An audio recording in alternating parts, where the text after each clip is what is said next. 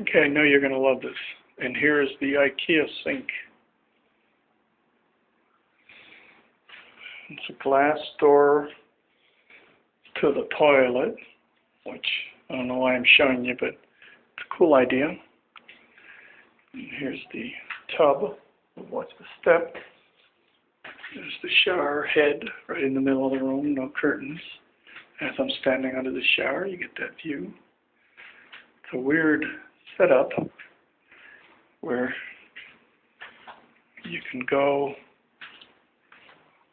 see the bed's in the middle of the room.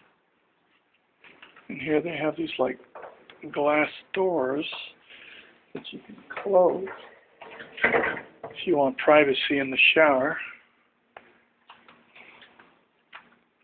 Here's the bed. Very nice. And you go out the door, and there's the view. South.